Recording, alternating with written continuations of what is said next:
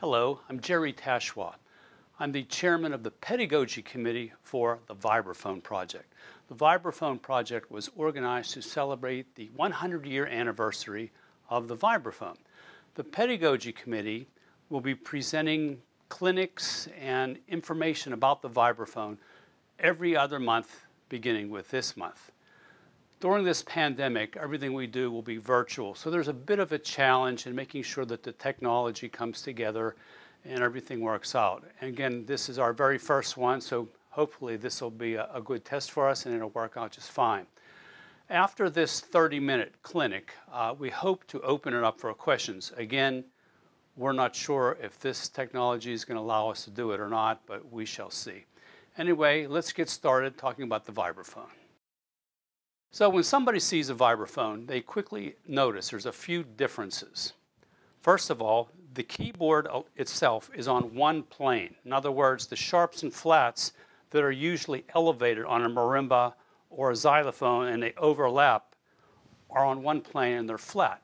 And this creates a little bit of a challenge, and I was aware of that when I first started out as well, that the distance to the notes seemed to be a little further just because of that the, the fact that they're not overlapping. The next thing you notice about the vibraphone, obviously, is it has metal bars. Metal bars, as you know, if you strike a metal object, it tends to vibrate and ring and can produce then unusual sounds and things that you're not aware of uh, and that you have to deal with. So that's the second thing. The third thing is obviously the vibraphone has a pedal. So these three things are primarily the differences in the two instruments. But we have to use these three things to control the vibraphone. Now, as you know that if, if you push the pedal down and the notes start to ring, that the dissonance is created between half steps, seconds, uh, major sevenths, flat nine intervals can be very harsh and very hard to listen to, something that you, you totally want to avoid. So we have to then find a way to control these vibrations and these frequencies to make the instrument sound good. Now, I want to step back before I get into this actually, the techniques. I want to talk a little bit about, real quickly, grips. I'm not going to go into detail about grips because I know that this is a personal thing, that everybody needs to find a grip that works for them, that fits their hands, that they're comfortable with. I get a lot of people coming to me uh, that want to study with me, and they want to sound like me. So right away they changed to my grip, which is one of the various uh, cross grips. I use this one. And so they want to like automatically just go to this grip to play vibraphone. So here's what I did. When I first started out, I started out on a marimba. I experimented with one of the marimba grips, the non-crossed grips. I experimented with those for a little while, and they look kind of like this. And then I also got into the cross grip, and I went back and forth. When I got into the vibraphone, I saw that everybody was using, again, a cross grip. So I figured, well, this is what you got to do. So I started using a cross grip on the vibraphone. Then when I went to the marimba, I used one of the various marimba grips. And I real quickly found out that there's not enough time in the day to develop two grips. At least there wasn't for me. Two grips require special muscles in different fingers they require a lot of calluses, and you have to develop these calluses. Otherwise, when you do a performance, immediately you get a blister and it hurts, and then you can't play, and it bleeds, and it's a real hassle. So you've got to develop calluses. And there's just not enough meat on my hands and skin to get all the different calluses necessary to, to come up with two grips and to maintain two grips. So I had to find a grip that worked for me. Now, I'm, I'm predominantly a vibraphone player now who also plays marimba. Because of that, I use this grip, which is the cross grip. I use this all the time. When I go over to marimba, yes, there's some things that are maybe a little more challenging for me to do, uh, like just kind of rolling the, the notes, getting a, nice rolling chord sound is a little bit of a challenge, and I have to work at that. Um, when I come over to the vibraphone, I have I have equal power at any given mallet at any time, which is real important because when I start to get into the dampening techniques, which we'll talk about in a few minutes, having the ability to have any mallet do the dampening at any time is very, very, very important to me. So that's basically all I want to talk about grips. Now, whatever grip you decide to do, you're going to have to make a compromise depending on which instrument you go to. Um, again, I have kids come to me that have like worked years and years and years on developing their marimba grip, and they come over here and they want to change. And I say, you know, you, you spend so much time on that grip. Why don't you continue with that grip and, and see if you could make it work for you? Find out a way to to do whatever you need to do to do the dampening and make it sound good, and see if you know you can before you make the change, see if you can make it work for you. And again, I'm sure they, they really appreciate that because there's, there's a lot of time invested in this kind of thing. And, and you want to make sure that it fits your hands and feels comfortable. And, and again, my thing is I couldn't maintain two grips. I had to find one that worked. Now, let's talk about these techniques. The five techniques that I have narrowed it down to make this instrument articulate and clean um, are in my method book. The method book is called a contemporary mallet method. It's an approach for the vibraphone and marimba. And I go through the, the, each one of the techniques and I narrowed it down to five and we'll talk about them right now. The first one is for melodic type scale passages, notes that are fairly close together. So what you're going to do is I'm to hold the pedal down so theoretically everything should be ringing. And I'm going to play a scale. And as I'm playing a scale, I'll be playing it with my right hand going up, okay? And then my, my left hand is just going to basically follow the right hand and just stay in the center of the bars and put pressure on the bar as it's moving up to dampen the, the vibrating bar. So let's just start here, F scale.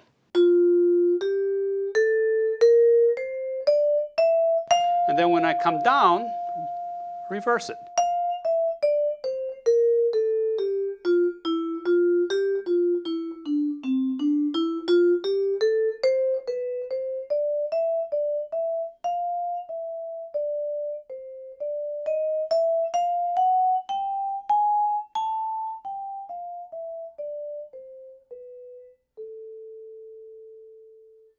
So that's called slide dampening.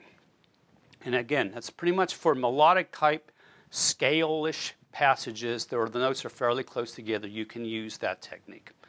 The second technique that I talk about I call uh, touch tone. And this is kind of a complicated technique. It'll take you a little while to feel comfortable with this one, and here it goes. So my, my left mallet will hit a note. I'm going to hit the D. And at the same time I hit the D, I'm going to hit another note. And then my first mallet that I hit the D with will dampen the D at the same time I hit another note. So here is the D. As I hit another note, the first mallet will dampen the D.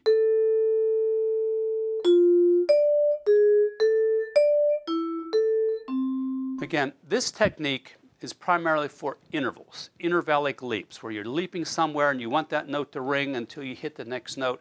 So here you go again. One mallet will hit the note. I'll hit another note. The first one got dampened. That one got dampened.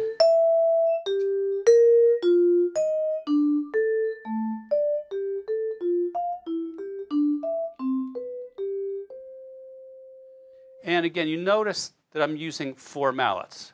We'll talk about this in a minute. And, uh, but my four mallets all have the ability to do all these dampening exercises, and it's real important to do it that way. Okay, moving along. The next technique is what I call adjacent note. And this one's fairly simple. So I'm going to hit a D, and then I'm going to go and hit the C right next to it. And as I hit the C, I'm going to just move over and dampen the D. So here's the D. As I hit the C,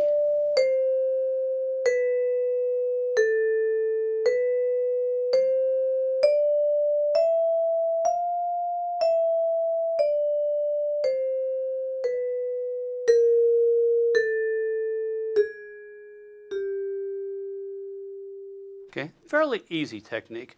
You want to try to stay in the center bars. The center of bars is where the bars are vibrating the most and it's the easiest part to actually dampen because you're controlling it right there in the center just staying there in the center.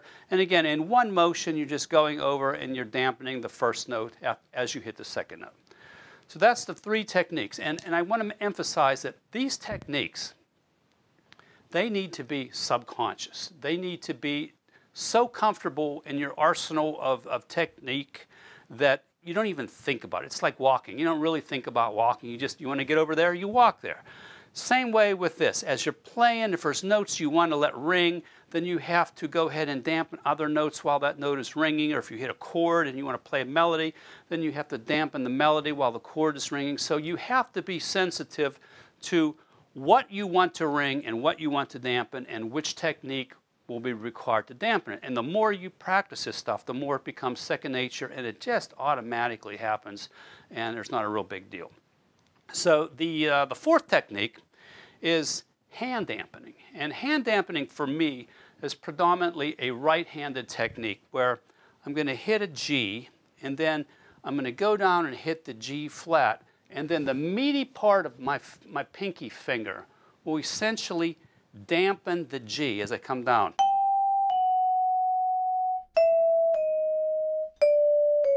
I'm just making contact with the bar as I hit the next note.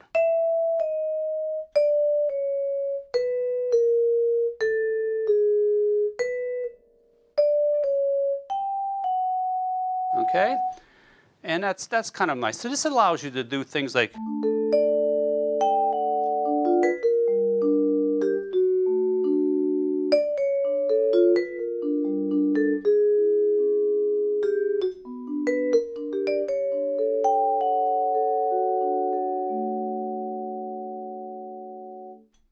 it's kind of like a little way of introducing another tone after you hit something.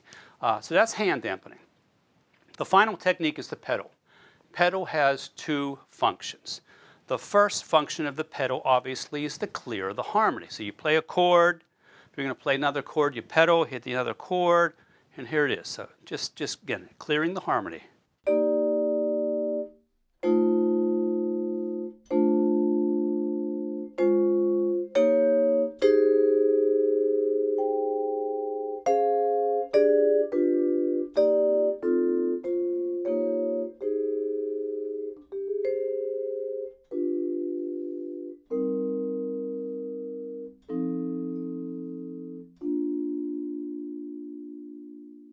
That's what the pedal does, just clears out the harmony. Now, there's another pedal technique, and I call it flutter pedaling.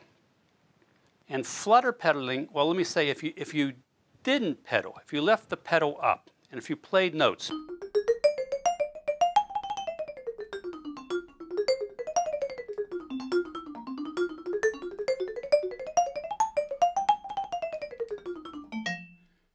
very staccato and very dry. If that's the effect that you want, then by all means, there, go for it. But usually in music, you want the notes to have some air around them. You want them to be a little bit alive, and you want to have a little bit of ringing.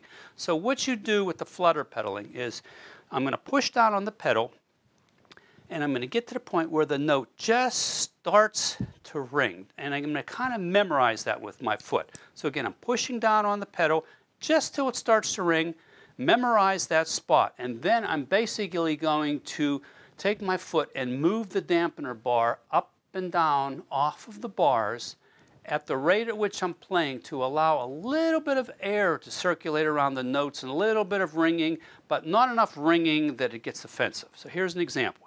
I'm pushing down on a pedal. So you can hear right there, the notes just start. So I memorize that spot with my foot. And then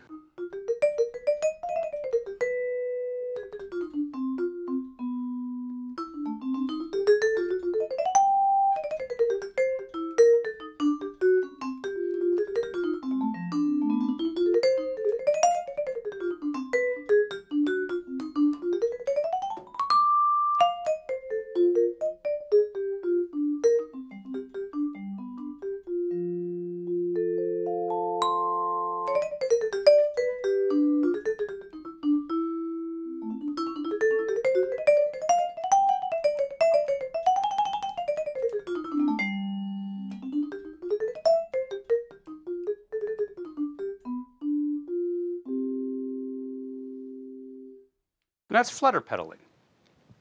So that covers all the basic dampening techniques that you need to know.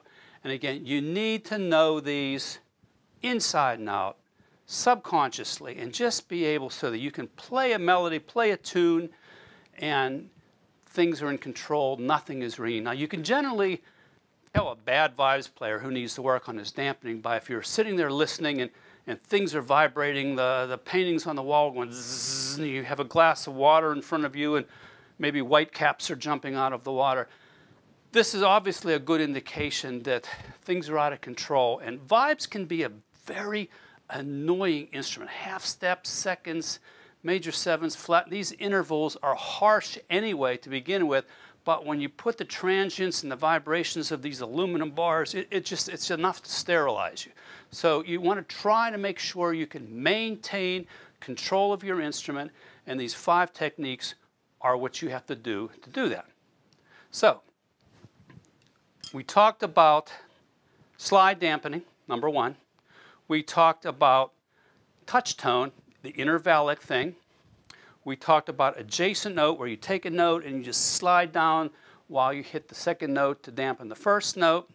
We talked about hand dampening where I'm using my right hand to basically allow me to go pretty much down half, down, up or down half steps to introduce another note. And then obviously the pedal. So these five techniques are what are required uh, to play this instrument, and it makes it different than a marimba. Now, a lot of students, a lot of percussionists that come to mallet instruments, the vibraphone is, is like the elephant in the room. It's the one that's like, yeah, I'll get to that later. Uh, that's, there's a lot involved with the vibraphone. I've got to learn, I've got to learn to play all this dampening stuff, and then I got to learn the reaches are a little bit different, and, and uh, I'm not, I'll get to that later. So they, they go to the marimba, and the marimba is just, just easier to execute technically. I mean, obviously, there's got its challenges as well.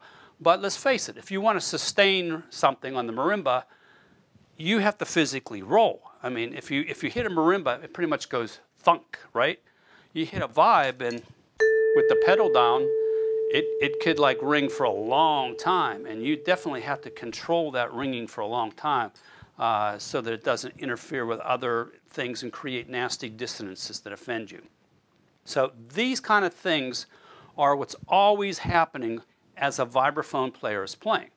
Uh, you see a lot of vibraphone players who play maybe more like a, like a saxophone. In other words, they take two mallets and they play melodic lines linear, singular notes, melodic lines. And a lot of them don't use a lot of the dampening. They may just kind of pedal a lot or not even really deal with the pedal that much, just play really fast and it kind of, kind of sounds decent.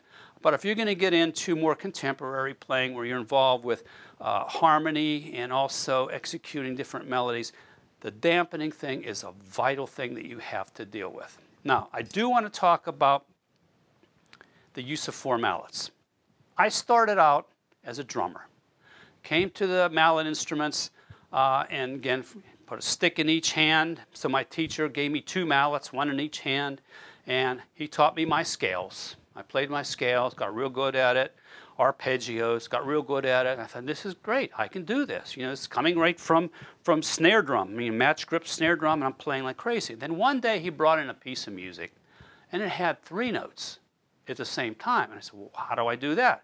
So my teacher said, this is a guy up in Pittsburgh, his name was Babe Fabrizi. He told me, okay, well, look, we're going to pick up another mallet in your left hand. I said, two mallets in one hand? Yeah, two mallets, put that in there, okay. And he said, now play your chords this way that you see written on the music. And when I picked up the mallets, I mean, immediately it's like, you know, it felt weird. I couldn't control it. My fingers weren't working properly. It was a challenge. So a couple weeks later, you know, I started feeling like, okay, I, I can do this. The two mallets and one in my right hand, that was that sort of work. And I got pretty good at it. And then one day I went in for a lesson. He pulled out another piece of music, and this time it had four notes on it.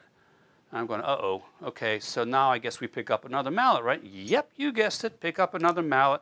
So then I got another mallet in my right hand. Then it's like awkward again, and and I'm like not sure which mallet and, and, the distances and the reaches and the intervals and it just felt clumsy, right? So weeks went by and all of a sudden now it's making sense. So here's what I discovered. I watched my wife, who teaches piano, and when she gets students that come in, from day one, it's 10 fingers on 88 notes, day one. They don't spend six months developing a thumb and an index finger, and okay, I think you're ready, let's add another finger. You know, I, I don't think they do that. It's, it's pretty much day one, this is the contemporary way of playing, this is what's expected, this is the technique, this is the fingering, this is the piano, go for it. So my approach now to vibraphone is, is pretty much the same way. I, I have students, I only really had a couple beginner students ever, but what I do, when they walk in, I immediately, whether they've touched an instrument or not, I put four mallets in their hand. For the simple reason that this is the contemporary way of playing. You're expected at one point in your life, if you're going to be a, a mallet percussionist, that you're going to have to play chords or four mallet anything. So you might as well learn from day one. So I get a lot of people say, well, wait a minute, you're toting around like oh, four mallets. What if you just have a single line, two mallet kind of thing? Why would you want to like go through the trouble of hanging on to two more mallets?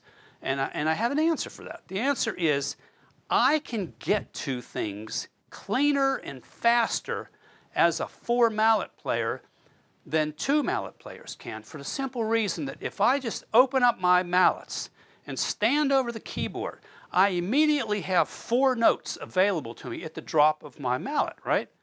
Which means that up or down a half step, I have four more notes, and I can just kind of go back and you know back and forth with, between my hands, playing all those notes, and it just like opens up the keyboard to me in terms of availability with very little motion. And I found out the key to pretty much all of percussion is if you can reduce motion, the, the ability to move your arms to get to something, to hit something. If you can reduce that motion, you'll play faster, cleaner, and more accurate with less likelihood of a wrong note. Now, arpeggios. If you want a big, huge arpeggio, you may try that with two mallets. You know, if you try that with two mallets, I mean, you got, you, you got all that motion. And, and, there's a good chance, like I just did, of missing a note because the momentum of your hand, you have to control the distances and the speed to get there and the weight of the hand. But with four mallets, you know, it's just flicking the wrist. So I carry four mallets all the time, everything. When I'm playing xylophone parts, four mallets. When I play marimba, four mallets. When I play little glockenspiel, those little you know, brass uh, mallets that you use, four of them. And it just works for me. I can just play anything fast, clean, and accurately. Now, there are times when I only be playing a single line. In that case, you know, I started out, um, again, when I was younger, my, my approach was coming from a match gripping snare drum technique that when I held four mallets, that the two inside mallets looked like match grip snare drumming to me. So what I did then, I would take my melodies that I wanted to play with single, you know, just with, with two mallets, with single lines.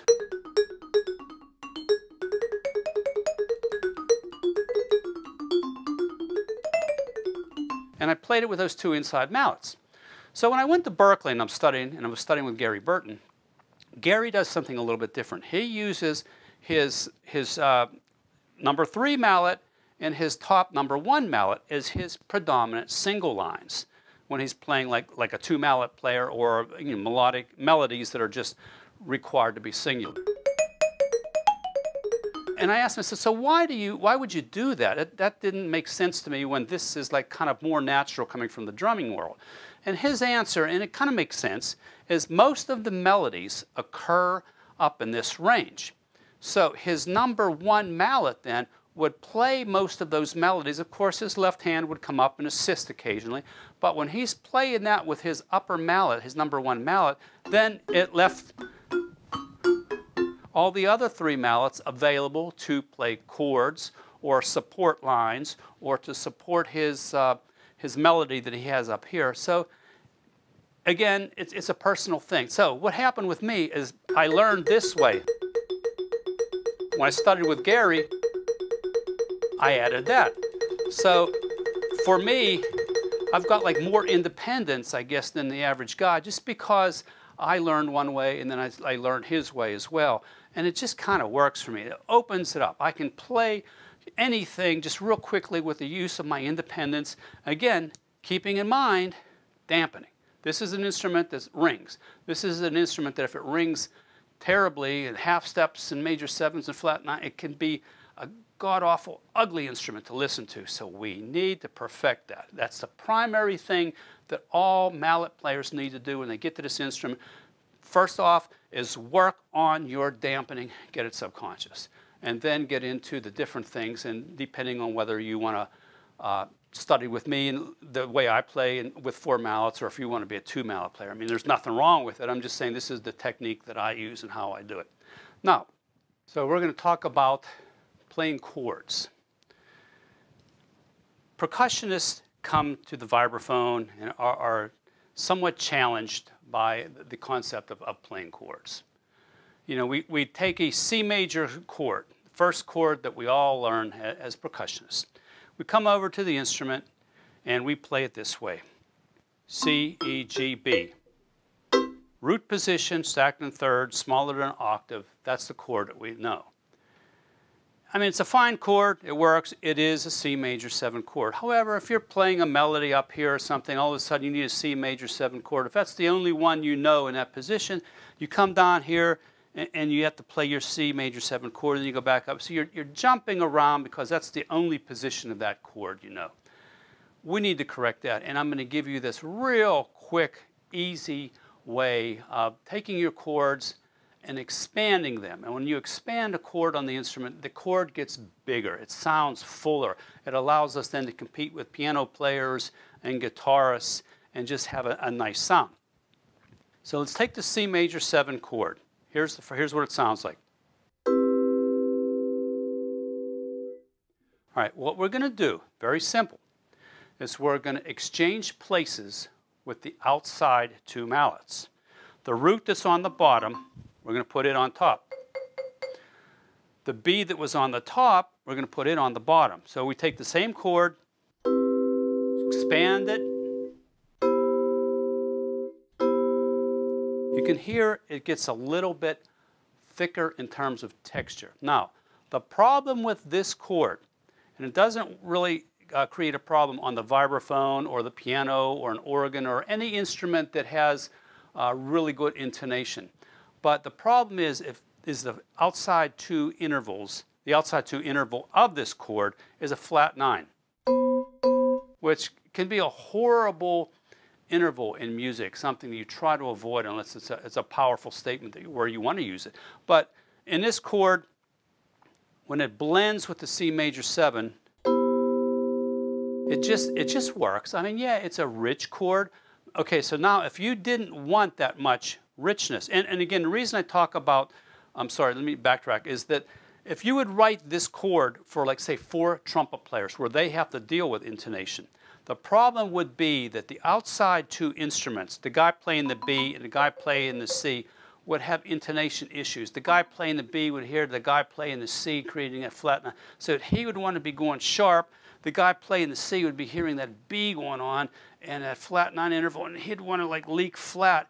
So they, they have a hard time keeping that chord in tune. Now, if this bothered you, if you didn't want to have a chord with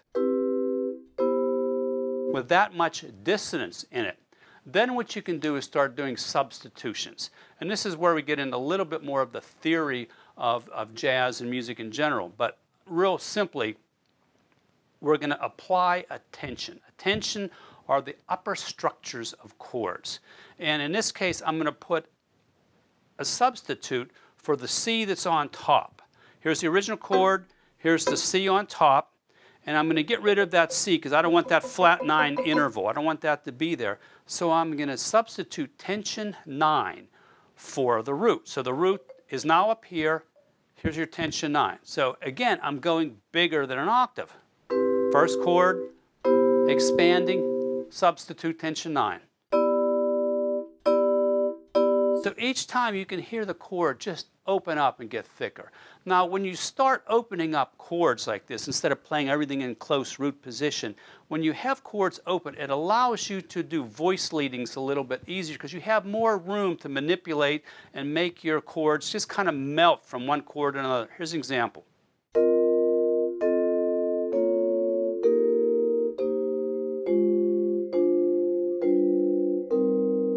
Just did a series of chords, blending, resolving into each other, and you saw I didn't have a lot of motion. Now, if you were playing everything in root position, yeah, you'd be bouncing around doing crazy things that wouldn't make a lot of sense. But by opening up chords, it gives you the ability to then move around a little bit and have more room to manipulate the mallets and to get to the next chord. Tensions, again, tensions are not rocket science as well. Very simple. And I'm going to give you in my book, I elaborate more on, on tensions and the proper tension for certain chords. There, there's all kinds of variations. You have natural tensions, you have chromatically altered tensions, you have uh, natural nine, you have a flat nine, flat 13, flat, you know, all these different kind of things. So you have to know which tension goes with which chord in which situation. But real quickly, generally, and I say generally because again, it doesn't apply to everything, but generally a tension is a whole step up of each chord tone. So if we take a C major 7, a whole step above the root is D. So that's your tension 9. We'll put that up here. A whole step above the third, this E, is an F sharp. So there's your tension sharp 11. Whole step above the fifth is an A. That's your tension 13. So we have C major 7, 9, sharp 11, and 13. These are natural tensions that occur on a C major chord. And I don't really want to go into too much theory at this point, but I want to just kind of touch on it so you can see that other than just chord tones, there are notes that you can play that get rid of problems, like that flat 9 problem. If I didn't really want that, I could substitute a tension for a chord tone to get, get rid of the flat 9, but yet make the chord very effective and very full. These are the things that you have to do to play the vibraphone. Again, dampening, dampening, dampening. You've got to learn dampening. You've got to get good at dampening. You have to just breathe it for a while and live with it until you get to the point where you dampen and you don't really think about it, but it's just working. And then later on, you'll get into all the aspects of, of playing and sticking and whether you decide to be a four mallet player or a two mallet player is up to you. Which grip you use, again, up to you, your personal taste and how you want to uh, you know, develop it. Uh, and then the chord possibility. I mean, so you, you can play chords, you can harmonize, you can support other players, singers, uh, soloists, and you can also accompany yourself by playing a melody and then just kind of filling it in with other chords and, and scales and improvising. So this is all I want to do really today in terms of this very short first clinic. We'd like to open it up for questions at this point, so hopefully this will work. Uh, anyway, uh, if you have some questions, go ahead, write them in, and we'll talk about it at this point. So thank you so much. Well, hello. I'm assuming that this is working. Um, I do have a few questions, and the way this is shaping up is I have people on the other end who are getting the questions, I guess, direct off of uh, YouTube and uh, are sending it to me on the phone, and I'm going to get into it with you. So the first question, someone was asking, how would you suggest playing chords that may have awkward hand positioning? For example, playing chords like B flat major or B major. And yeah, I do have an answer for that. I'm assuming that you're meaning like playing a chord, uh, like a B major. Let's talk about B major chord in root position where you have a B, a D sharp, an F sharp, and, and a B. So basically you have to do kind of an awkward movement where you have to like squeeze your elbows in tight to be able to get to that kind of a chord. Uh, what I also found out is if you keep your inside mallets about a half of a head longer, which is what I do all the time, that when you get to those awkward chords, the fact that they're longer means you don't have to like cram your elbows in so tight to, to get it. So just kind of keeping that little bit, you know, half a head longer seems to do on chords like that. And remember, there's there's chords and there's all kinds of variations of chords. Uh, you know, there's different positions, different tensions you could add to kind of help you when you do have a chord that is in, in a very awkward position. So hopefully that helps you out. Okay, second question. What were some significant tips or advice that Gary Burton gave you when you studied with him? And right now, I mean, I, I can't recall any specific uh, advice other than when I got when I got together with him, it was always kind of it was a fun time that he would sit at the piano and he would assign a tune and I would come in and I'd play it on vibes. I'd improvise, he would improvise, I would comp behind him. Uh, and it was kind of fun to be able to do that. Uh, and then he would critique my my development, my my chord choices, my chord scale. He would critique them, and uh, we, we would just talk about it. But I, I do remember one thing that Gary said to me, and this kind of shocked me. He said, "The better you get, and the more successful you get in your career, the less you will work." And, and that shocked me because I'm thinking, well, the better you get, the more in demand you are, the more you're going to work. And he says, yeah, but at one point, he says, you're not going to be doing weddings and bar mitzvahs and local Joe's bar and grill. You're going to be playing better concerts and events. So you'll, you'll have better gigs, but you won't play as many of the dumb gigs, I guess is what he was saying. So, uh, and, and I found that to be fairly true, that um, the work that I seem to be doing now is, is a lot better than when I first graduated Berklee, and I was pretty much taking anything to, to make some money. Uh, so we, we tend to do pretty much major concerts right now. A lot of college dates where we'll do concerts in a clinic, maybe in the afternoon. Uh, the jazz festivals in Europe and, and things like that. And I, and I do get a lot of recording sessions, which is really nice. Helps out too. Uh, third question: What are your top top five vibe solos that would be good for a beginner to transcribe. Okay, so my thinking on transcribing, again, comes probably from my, my relationship with Gary Burton and also from studying at Berklee. There's kind of two schools of improvisation. There's, there's what I call the lick approach, where you learn licks. You learn like these licks and you start applying them on various different tunes all over the place.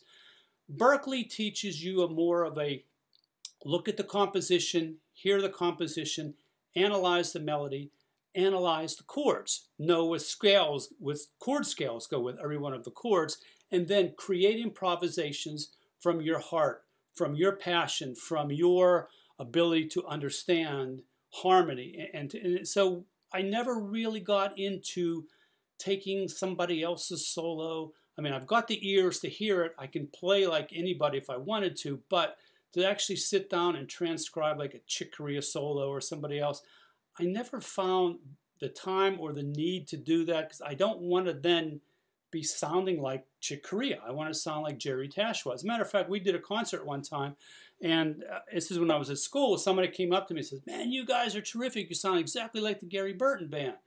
And I knew he meant it as a compliment, but I, I thought for a minute, I said, You know, you're, you're right. So I quit at that point listening to vibes players.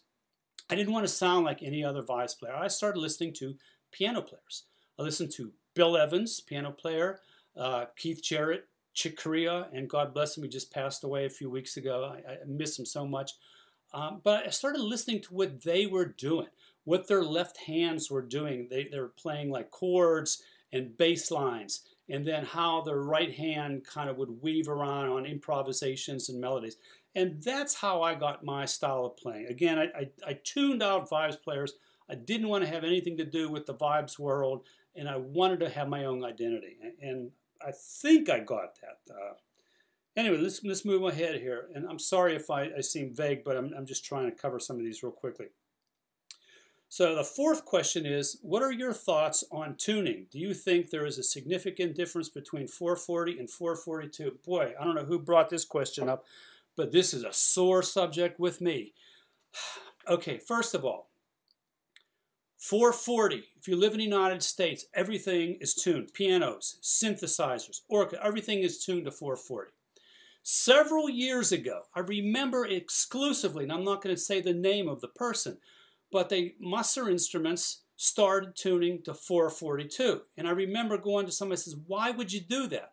And the comment that they said was, well, Yamaha is doing it, so we probably need to be consistent and, and do the same thing. And I'm going, no, we live in the United States where 440 is the standard tuning. Yes, in Europe, maybe they do tune to 442, but in the United States, 440s are, and I have two sets of bars. I have a 440 and a 442, depending on where I'm going, and, I, and I'll use different bars. But my wife has perfect pitch, and everybody knows what perfect pitch is. Uh, so anyway, one day I took another instrument, and the instrument was tuned to 442. And I, I, just got this instrument. It was one of my students. It was an extended range instrument. And I remember taking it to this gig, and my wife was struggling. And I remember we took a break, and I said to her, I says, what's going on? I've never heard you play like this. You're, you're, like, you're like making mistakes that I never heard before. And she said, I hear you playing, and you're playing in the cracks. I can't discern where your pitch is and what you're trying to lead me into there's something going on. And I told her, I said, well, this instrument's tuned to 442. And just those two cents difference was enough to confuse her. So yes, 440 and 442 are significant. And if you ever hear two instruments together that are tuned one 440, one 442, it's it's horrible. It's it's definitely drive you crazy. It's like you know, cat scratching on the glass or something. Yeah, so you, you don't want to have it. I, I'm like on this campaign to you know, let's get back to tuning the instrument to what it should be and forget about all this. Like, well, I want the instrument to be a little brighter. I don't want the vibes to be any brighter. As a matter of fact, when I go into record, I intentionally go to the high end of the instrument with the EQ and I pull it down a little because I hate that bright, make your ears bleed, transients popping, distorted, high frequency, metally sound. And I hate that. And I hate bar, I mean, sorry, mallets that are real hard. I, I, like a mallet that's soft and you can hear the fundamental of the note and they really make the instrument, you know, sweet and sound good as opposed to really hitting it with a with a hard mallet, which is one of the reasons I really didn't listen to any Lionel Hampton because at that time the recordings, first of all, weren't that good. Uh, just the way that technology hadn't evolved, and he used really abrasive mallets and it's just that clunky clunk sound is something I just if if that was the instrument that I had to play forever, I think I would have definitely quit a long time ago and been a piano player. So 440 and 442, great question, and I hope I didn't go off on a tangent. But man, I, I really have strong feelings about that. Uh, fifth question. How do you plan or structure an improv section during a tune? Okay, so this this is a it's kind of a loaded question. So you, you, look at the tune. If, if you know the tune, great. If you don't know the tune, you know, you're looking at the tune, you're analyzing, you're looking at the melody, what key is it in, how fast is it, you're analyzing the melodies, um, you're, you're going through that kind of thing. And then you got to look at the harmony. You got to like real quickly, spontaneously look at the harmony. This is a Dorian scale. This is a Mixolydian. This is a Aeolian. This is anything weird coming up. So after you kind of get all that information in your head, when it's your turn to solo, it's a matter then of just relaxing and trusting your instinct and playing in the style of the tune. The reason you play the tune is to set up the groove for the improvisation. In other words, if you're playing a nice swing tune, a nice Stella by Starlight or something, da da ba boo da ba, real nice and sweet, right? Swinging. And you know, you don't take off and go into a Latin or a polka or something. You know, you, you keep it within the, the, the framework of the tune. You, you try to, to, to do that. And anyway, you, you want to structure improvisation just to make sure things sound good, making sure that your dissonances are resolving properly. Um, think of it as a conversation. You, you want to kind of start easy. You're developing your idea. Your idea, you're getting more aggressive. You're increasing tessitura. You're getting more powerful. This is your climactic moment of your solo. And then you kind of like come down a little bit, resolve a little bit, and just kind of take it easy and you're finished soloing the next soloist. It's sort of like a composition. You want to do the same thing when you compose music. You want to build up to some kind of a high climactic moment and then, then taper off. So that's pretty much the way I think about in terms of improvisation. Again, I, I never learned licks. I wanted to be from that, that school that I studied at Berklee where you're using your heart and instinct and mind and ears to develop your improvisation based off of your harmonic ability, your, your analysis of the music, uh, your technique, uh, and, and who you're playing with and how everything sounds. So it's, it's just something you, you work on. You, you have to really work at it. Okay, sixth question. Do you re recommend any exercises for getting more comfortable with adding musical tension and dissonances while you are playing? Okay, um, I, I don't I don't have any exercises except I could say that there was a class that I took at Berklee, and it was taught by Herb Pomeroy. And it was actually a big band class and I was reluctant to take it because I really wasn't into big band I'm into smaller ensembles. But everybody said oh no Jerry this is the class this is why you go to Berklee. it's called line writing. And Herb teaches this concept of developing not only uh, solos, but just melodies in general and orchestrating in such a way that you start out with chords that are like very open and non-conflicting, which means each interval is basically not creating dissonance within itself, okay? And then you build up. So you target an area, which he calls a prime dissonance. This is what I decided in this composition is the prime climactic moment. And I assign that a number of prime dissonances. Let's say three prime dissonances, okay? And that's going to be a powerful chord. Prime dissonances are half steps, major sevens, and flat nine intervals. So you're trying to then take these instruments, say it's like a saxophone and, and trumpets, and you're trying to then get all these notes where the interval relationships will create those half steps and major sevens and, and, and create power. And so the, as you build up into this chord, up into this climactic moment, you've got three prime dissonances at the climactic moment. Everything before it does not exceed three prime dissonance. You could have two prime dissonances or one prime dissonance, but once you hit that, that's your climactic moment. And then as you're coming away from it, going to the end of the, the composition or the solo, or whatever, the same thing. Two prime dissonance, one prime dissonance, there's no prime dissonance, And it allows it to grow.